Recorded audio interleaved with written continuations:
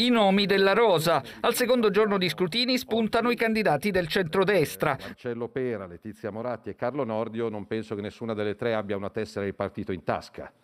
Molto... Nomi che vogliamo proporre e non imporre, riteniamo di averne il diritto, dicono all'unisono Salvini, Meloni e Tajani. In realtà, accanto ai tre formalizzati nell'incontro con la stampa, ne vengono evocati come quirinabili altri due, lo stesso Tajani e la Presidente del Senato Casellati. Come risponde a questa mossa il centro-sinistra? I leader di PD, Movimento 5 Stelle e l'EU avevano posticipato il loro vertice in attesa delle parole del campo opposto. Svelati i nomi, la prima replica di Enrico Letta è stata all'insegna del fair play, nomi di qualità che valuteremo senza pregiudizi. Conte nega che il centrodestra abbia diritto di prelazione nell'avanzare candidature e ribadisce a proposito di Draghi il suo punto: non si cambia timoniere nella tempesta. Due infatti sembrano gli schemi di gioco in atto. Il centrodestra, attrazione salviniana, che con la rosa dei nomi fatti ed evocati oggi e ancora di quelli coperti, prova a fare breccia nel centrosinistra dividendolo. L'altro forno aperto è la larga convergenza su Draghi, strada che passa dal complicato editing di un nuovo governo.